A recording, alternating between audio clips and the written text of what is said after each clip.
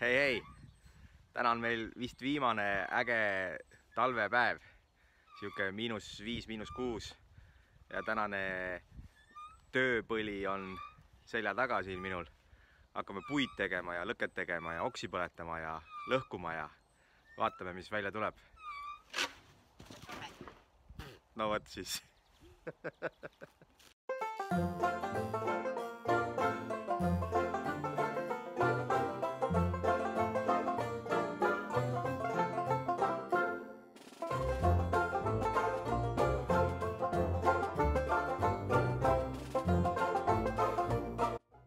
tavaliselt juhtus ka nüüd, et talvel polnud vähimatki soovi veel minekut teha. see oligi hea. nii saime enne õuetöid minna kelgukoertega sõitma. matkakoerad, ehk siis nende kiirused ei ole suured, kuskil kümme-viisteist kilomeetrit. kelgukoerte kodu on meie juurest kiviga visata ning nendega koos elavad armsad inimesed ja muidugi tahtsime ise järele proovida, kuidas see käib kuigi Haanjas oli külm, oli elevust palju. kuulasime Johanna ja Raini nõuandeid ning koerad ei suutnud sõidu ootuses kuidagi paigal püsida.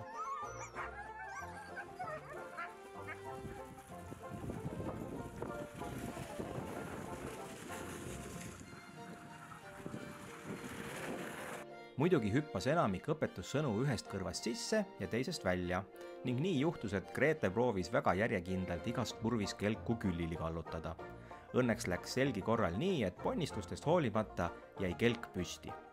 see muidugi ei tähenda, et koera sõit oleks nii igav olnud, et muud sealt meenutada pole. vastupidi, koera rakendi sabas kelguga üle Haanja küngaste tuhisedes on võimatu märgata, millise mühinaga elulust kasvab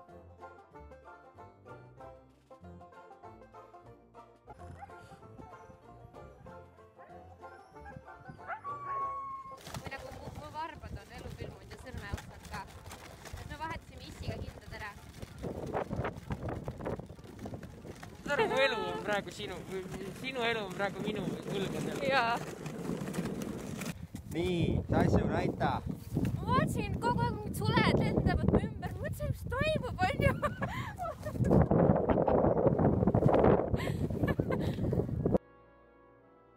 terve meie paaritunnine sõit oli täis naeru, nalja ning kõhukõdi.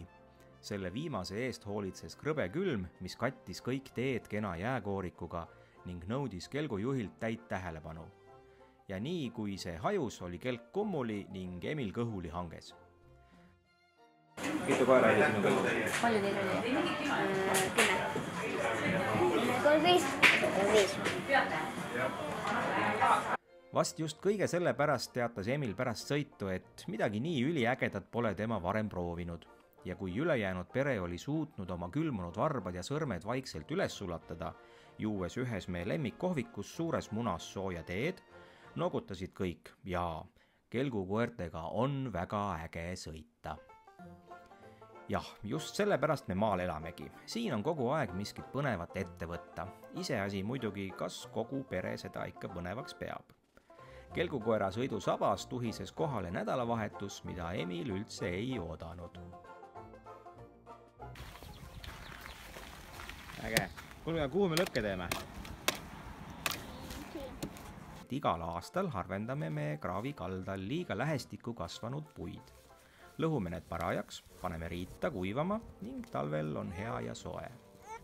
kõlab lihtsalt, aga tähendab üsna palju tööd ja kõik, kes vähegi oskavad juba viilida, seda ka puutööpäeval tegid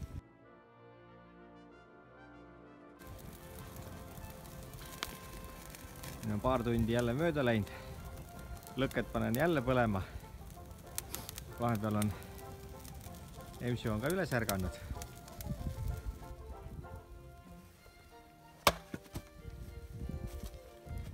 tegelikult on aga nii, et üheskoos tegutsedes pole ükski töö liiga suur ega murra konti. lisaboonusena on kõik õues.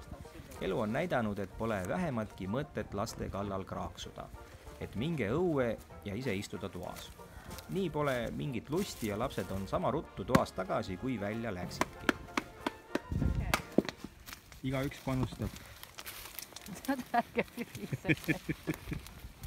ja kõik elutarkused saavad koos tegutsedes ka selgeks. Anni õppis sel korral ära, et riita lähevad need puud, millel on mõlemas otsas kollane junn. kõik ülejäänud oksad saab vedada lõkkesse. One eternity later. tehtud. ja muidugi sai selgeks, et märjast puust head lõket ei saa. süüta palju tahad